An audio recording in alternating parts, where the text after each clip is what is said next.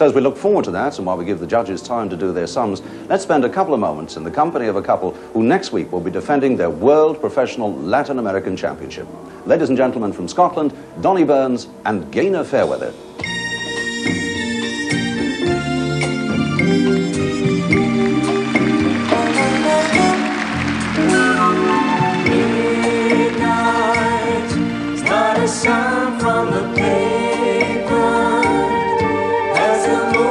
just knew.